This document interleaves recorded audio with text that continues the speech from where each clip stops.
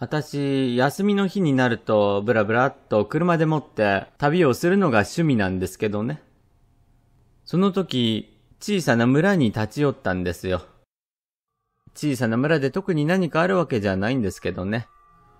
豊かな田園が広がっていて、何にもないがある、とでも言うんですかな。普段都会の喧騒で仕事に追われてるわけですからね。こういう素朴な村っていうのはなかなかいいもんですよ。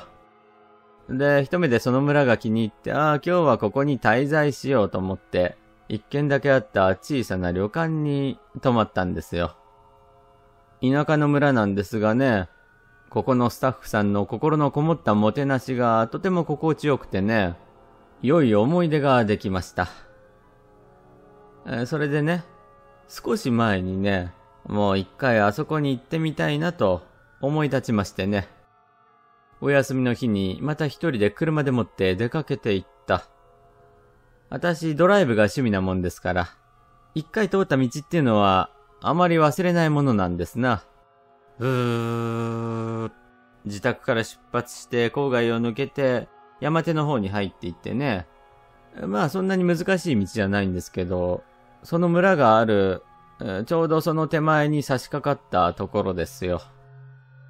昔はね、この先何キロメートル何々村と書いてあったような気がしたんですがね。なぜか変なことが書いてあるんですな。その看板にはね、巨頭をって書いてあるんですよ。巨頭を、なんだろうななんか間違ってるのかな？おかしいななんて思いながらね。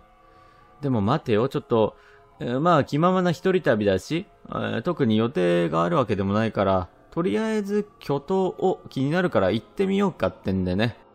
その巨頭をの道の方を、うーっと、車で進んでいったわけです。しばらくするとね、なんだか見覚えのあるような感じの道ではあったんですけれども、村に着いたらね、この村っていうのが、すっかり廃村って言うんですか？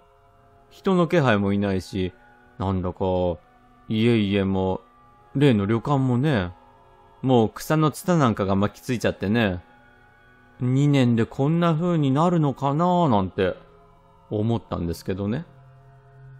とりあえず、まあ廃墟なんていうのも興味がありますから、あ、これはこれでいいやってんでね、車から降りようとした。バタン。車のドアを開けてね、さあ、廃村探検でも行こうかってんでね、思ったその時ですよ。ちょうど20メートルくらい先ですかな。草むらがガサガサガサっと音を立てたんです。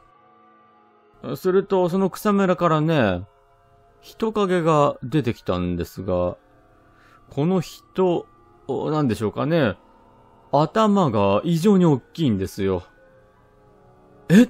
と思ってね、固まっていると、ガサガサガサガサ、周りからも次々とその頭の大きい人のようなものが出てくるんです。それで、すごい勢いで、こちらに走ってくる。でね、その動き方がまた変なんだ。両手をこうぴったりと足につけてね、でっかい頭を左右に振りながら近づいてくる。えってんで、バタン運転席のドアを勢いよく閉めてね、そのまま思いっきりバックで持って村の入り口まで急発進した。その間も距離は離れているんですが、何人も何人も頭の大きな奴らが大勢こっちに向かって走ってくる。そのまま U ターンできる場所があったんで、急いで方向転換して元の道に戻りました。まあ、それだけでその後は何にもなかったんですが、一体、あの頭のでっかい人間のような生物、何だったんでしょうかね。後日地図を見てみても、確かに数年前に行った村とその場所は同じ場所だったんです。え？もう一回行ってみてくれ。気になる。ああ、そうですな。もう、あんな怖い思いはしたくはありませんよ。気になるようだったらどうですか？あなた、行ってみては？